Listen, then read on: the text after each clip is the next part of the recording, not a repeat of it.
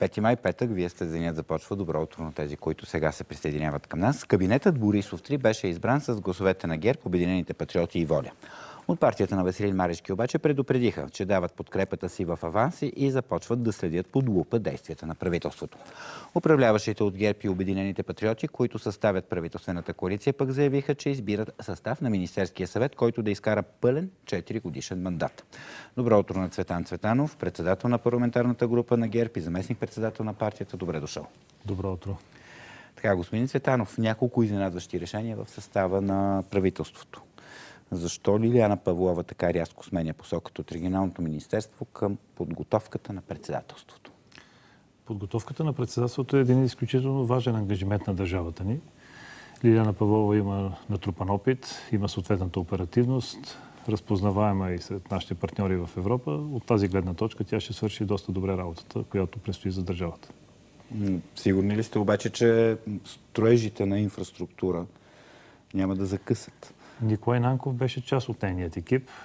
Знаете, че той беше заместник министър. Също времено и останалите заместник министри, които бяха в предишният мандат. Тези, които имат директната връзка с Брюксел, по всяка вероятност може би ще намерят място и в сегашния политически състав.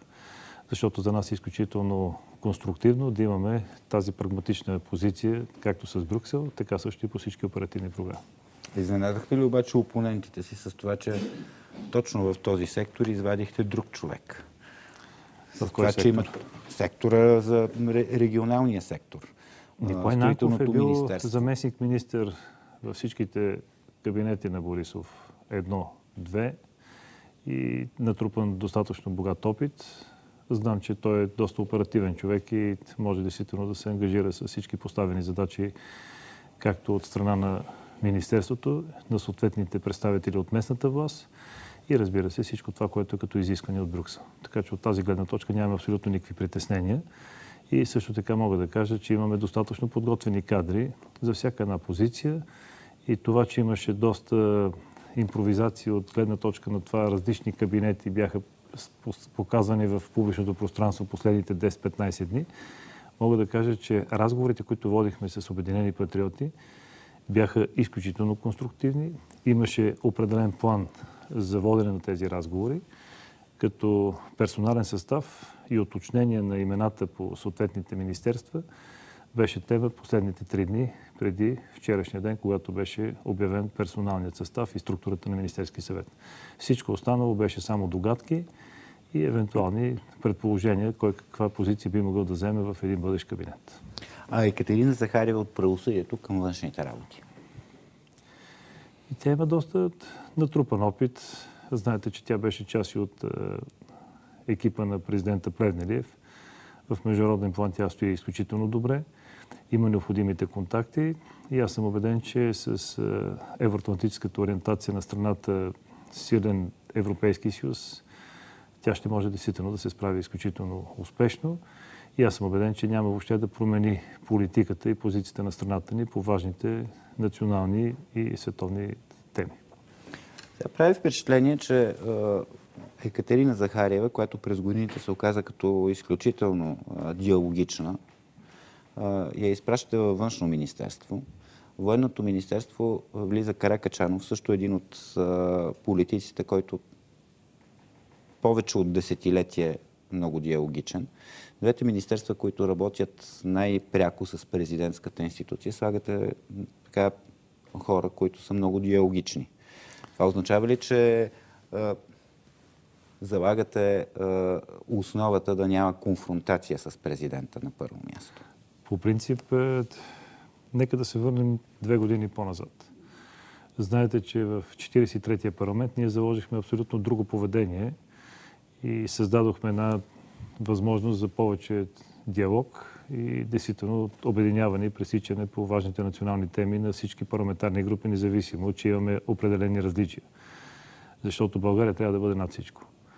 От тази гледна точка аз мога да кажа, че всички министри ще могат да бъдат изключително комуникативни с всички парламентарни групи, дори и с опозицията. И аз съм убеден, че времето ще покаже, че това е най-добрата формула за сегашния кабинет, както във връзка с предстоящото председателство, но така също и с възможността да изкараме целият 4 годишен мандат. И сериозната парламентарна подкрепа, която ще получаваме в реализирането на дадените секторни политики. Защо обаче стоварихте тежките проблеми в съдебната власт върху Цецка Цачева?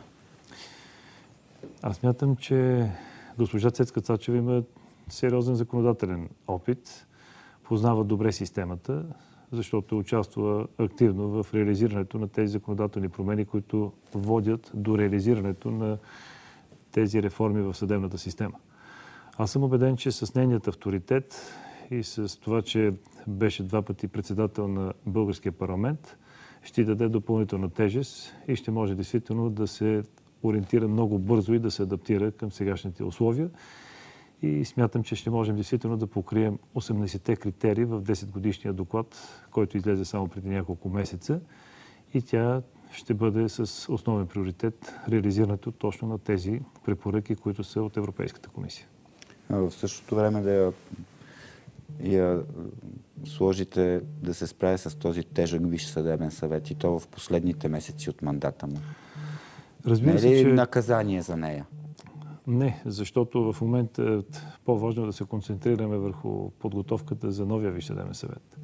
И знаете, че има парламентарна квота, която трябва да бъде реализирана.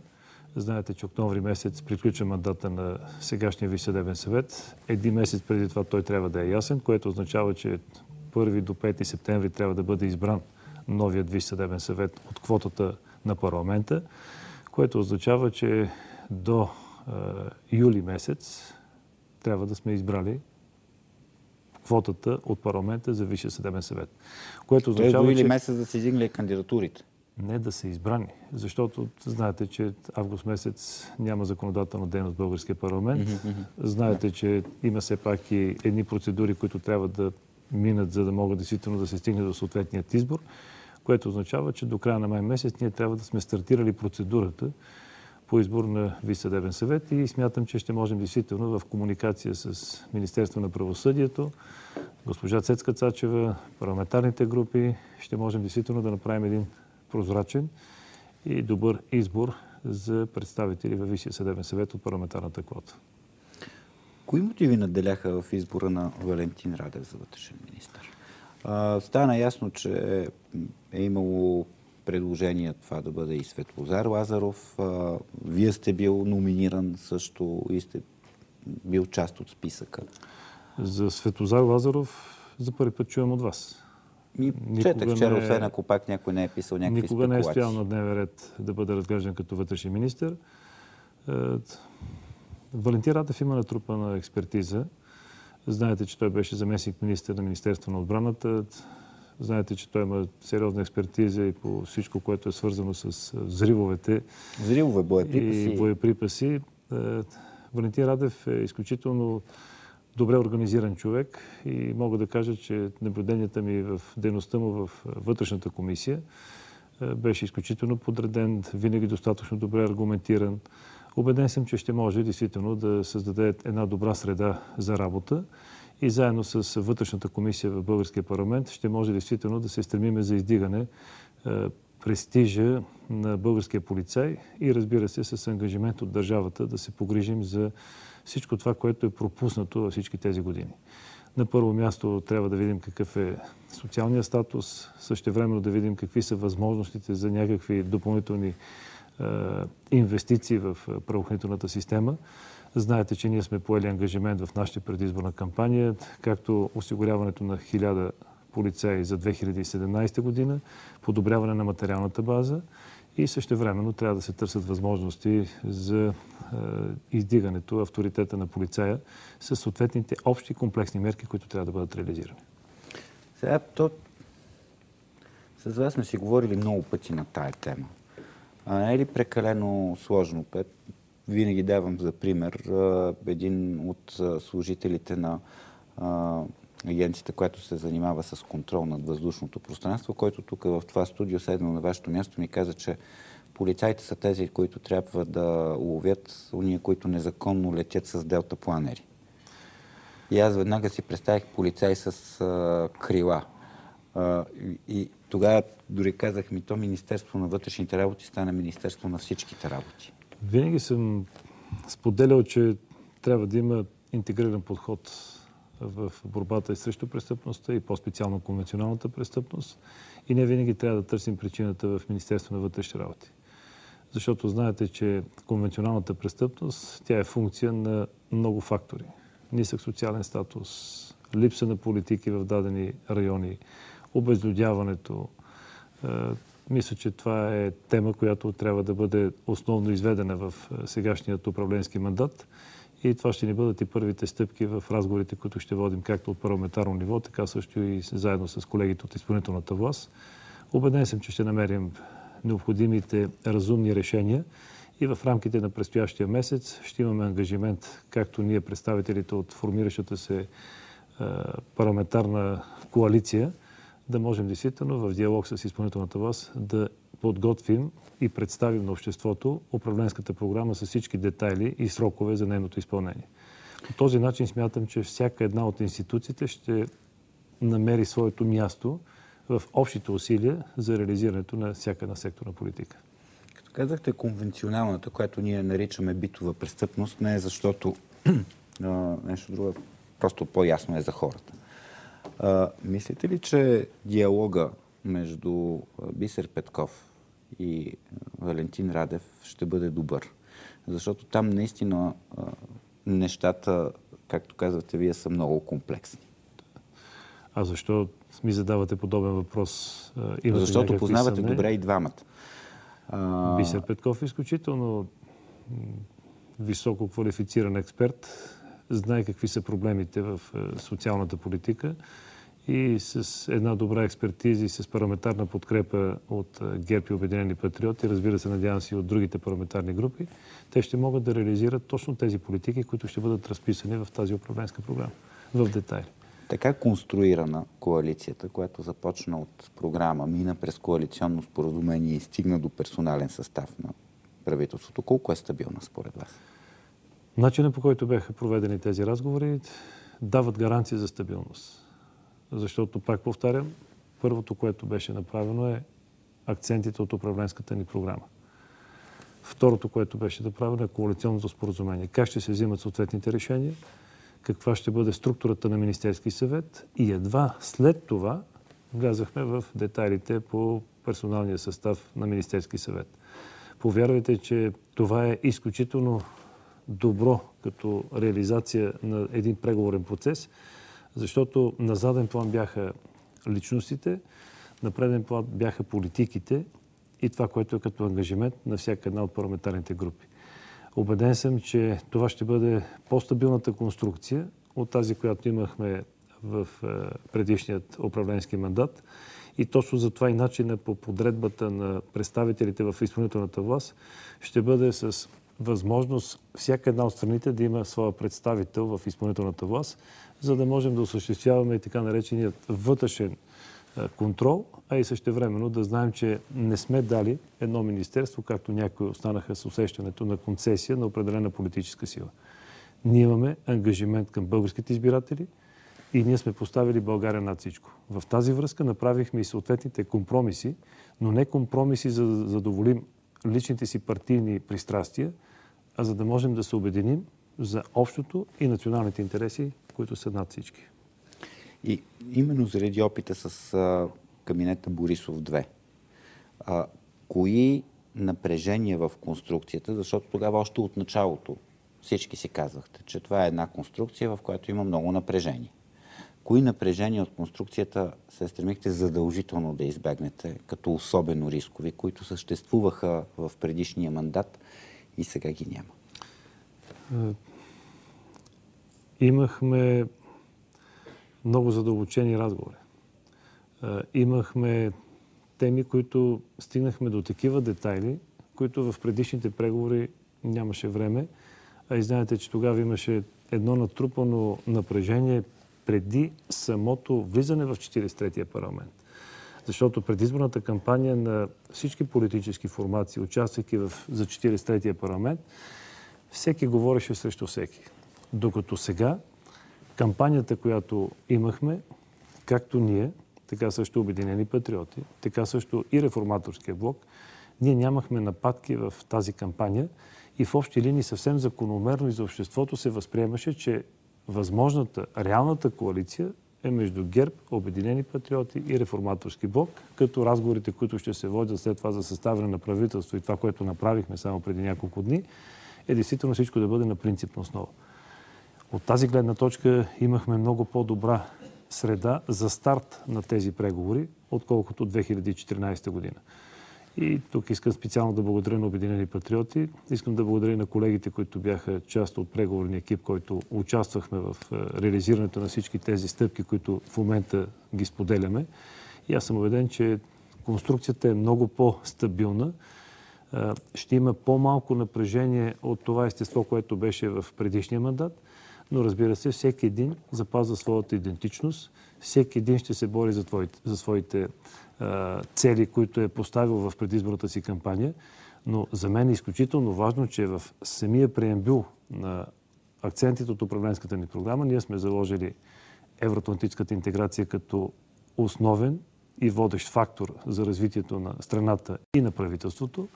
И разбира се, част да сме от силният Европейски съюз, да защитим интересите на българските граждани при преговорите, които ще се водят по Брекзит – и аз съм убеден, че заедно с Обединени патриоти и като вице-премьер по силовите министерства и министър на отбраната, господин Каракачанов ще покаже, че е един истински натовец и винаги ще защитава точно тази евроатлантическа ориентация на страната ни.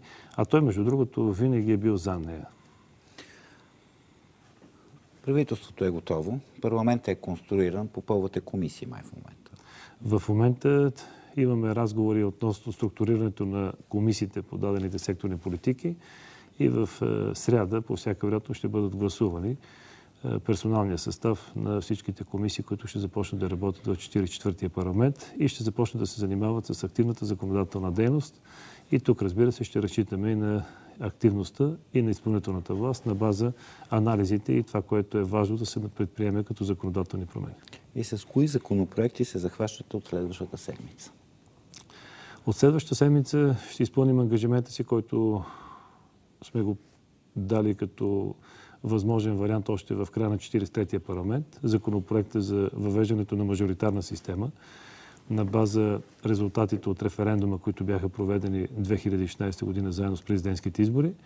Също така изключително важна тема, която малко отбягва от фокуса на обществото и на медиите, това е закона за концесиите защото знаете, че след година и половина дебат и обсъждания в българския парламент, края на 43-я парламент беше прият закона за концесиите. Ама президента наложи вето. Президента наложи вето, но само да кажа, че ветото, когато бъде наложено, знаете, че по Конституция то трябва да бъде прегласувано в парламента, но когато пък бъде разпуснат парламента, нямаше хипотеза, в която сегашния парламент да прегласува стар законопроект, който е прият в предишния. От тази гледна точка сега трябва да извървим цялата процедура, но тук е, искам да споделя пред вас една много тревожна информация, че Европейската комисия на база това наложено вето и неприемането на този закон за концесиите се стартира наказателна процедура. Единственият шанс за да избегнем е по-бързото внасяне на законопроекта в българския парламент и това ще бъде инициатива, надявам се и на всички останали парламентарни групи, защото не искаме България да бъде обвързана с едно решение на президента за въвеждането на една наказателна процедура. Тук, между другото, искам да подчертая, че президента също отчита това като едно сериозно предизвикателство и също и той, както и ние, както и изпълнителната власт, ще направим всичко възможно, за да можем да избегнем тази възможна наказателна процедура, която в момента се подготвя в Европейската комисия. Едно към едно същия законопроект ли ще гледате или ще има някакви корекции в него? На първи етап ще бъде внесен почти същия законопроект, но между първо и второ четене, разбира се, ако има някаква необходимост за допълнително оптимизиране, ще бъде предприето и ще се направят съответните предложения от всяка една от парламентарните групи.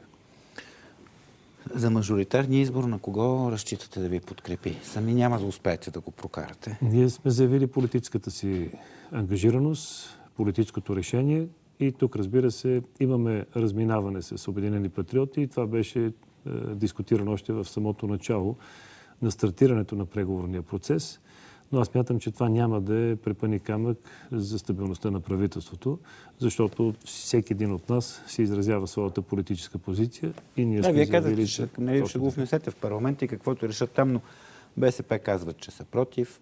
ДПС е заемат една позиция, в която казват, абе не е добре за нас, ама понеже хората са казали, ама да им отговорим с економическо развитие. Ние трябва да изпълним ангажимента си и да се съобразим с тези 2 милиона и половина български граждани. Защото няма парламентарна група в българския парламент, която да бъде представена от такава голяма численост от избиратели. 2 милиона и половина, това е сериозно предизвикателство за всяка една политическа сила, която трябва да се съобразява с това. А кои законопроекти пък като първи очаквате от правителството? Разбира се, всичко, което е свързано с 80-те препоръки на Европейската комисия. Знаете, че това, което е като ново предизвикателство и крайно време да бъде прият нов наказателен кодекс. Знаете, че сегашният е от 1968 година с N на брой поправки, които са правени. Като сръбска черга ешет и вие сте брал като министър на вътрешните работи такива ядове с този... Точно така. От тази гледна точка смятам, че това ще бъде едно сериозно предизвикателство и ако успее екипът на госпожа Цачева в диалог с всички неправителствени организации, с съответните експерти да се подготви един достатъчно силен законопроект, ще бъде добър успех и за българския парламент. Разбира се, има неща, които са свързани с наказателно-процесуалния кодекс, и разбира се, във всеки един от ресорите, министрите в момента са натоварени с отговорността да направят един цялостен правен анализ в съответните ведомства, за да видим какво може да допринесе за по-бързото реализиране на тези политики, които сме ги гарантирали и сме ги обещали на българските избиратели.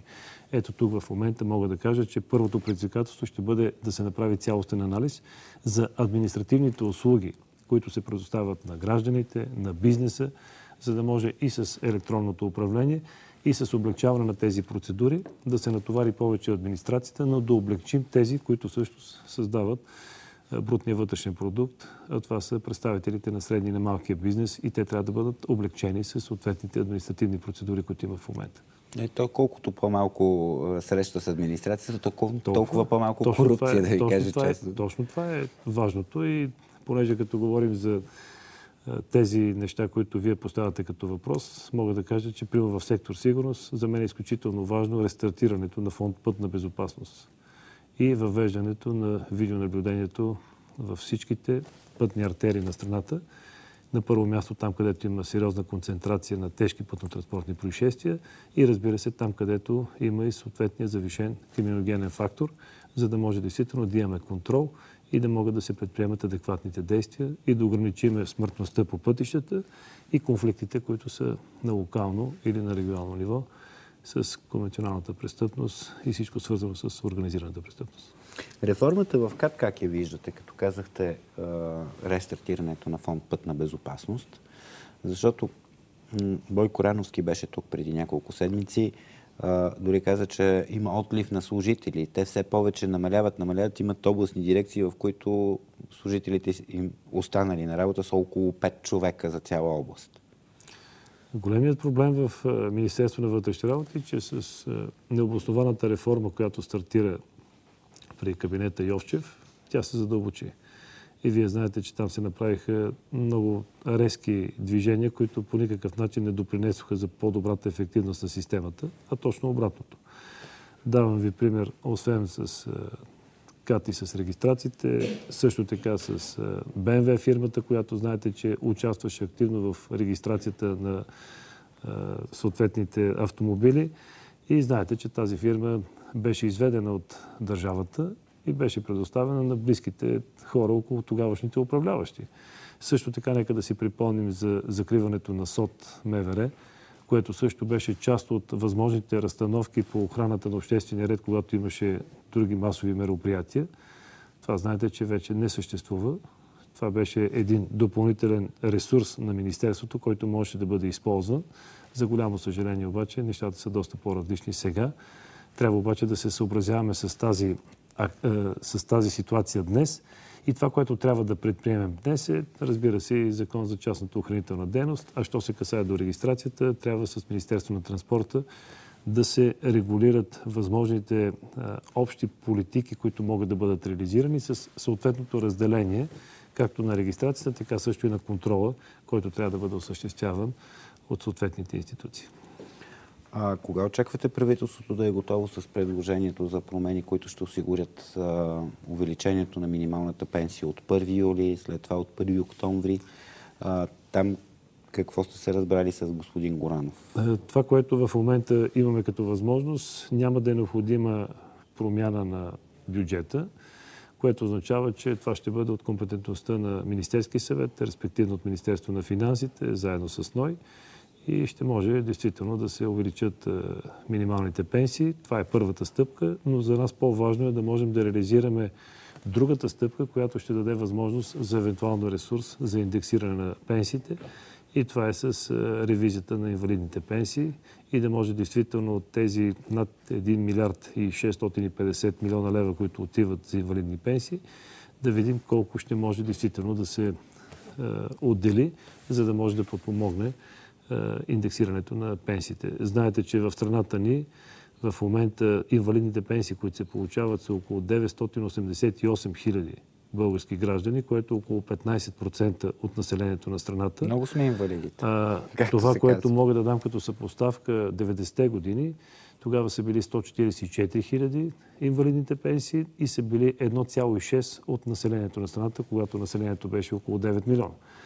Това, което искам също да споделя пред вас е, че средната статистика за държавите от Европейския съюз е, те се движат около 0,8, 1,5 и съм убеден, че това трябва да бъде променено и разбира се на база европейските практики и всичко, което може да ни доведе до възможност да има обективност при даването на тези инвалидни пенсии. Тези, които заслужават, дори могат да бъдат увеличени но тези, които не заслужават и са получили тези инвалидни пенсии под някаква друга стимулираща схема, трябва да бъдат отделени тези пари и да бъдат ползвани за българските пенсионери. Това смятаме, че може да бъде реализирано.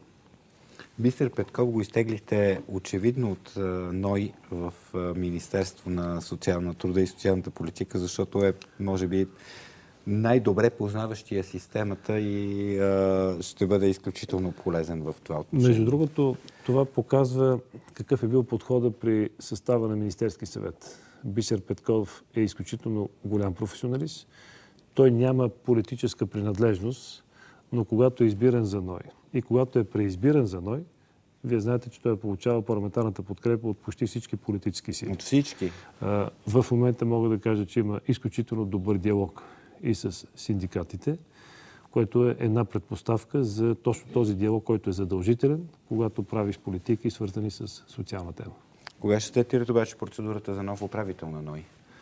И разбира се, това са теми, които ще бъдат обсъждани в парламента и нека първо да бъдат структурирани съответните ресорни комисии, за да могат и те да започнат своята интензивна работа и да се движат по съответните точки, които са от дневния ред на обществото. Но няма да се бавите, доколкото. Не, няма да се бавим, защото трябва да има бързо решение. Понеже сте човек, който е много свързан с спорта, искам да ви помоля да погледнете какво има срещу вас в екрана големия отсреща. Да. Арена Армеец, готова за Световната купа по художествена гимнастика. След големите успехи на ансамбъла, на Неви, въобще на златните, новите златни момичета на България и а, ние отправяме поглед а, в края на разговора с вас, за което ви благодаря, директно към... А...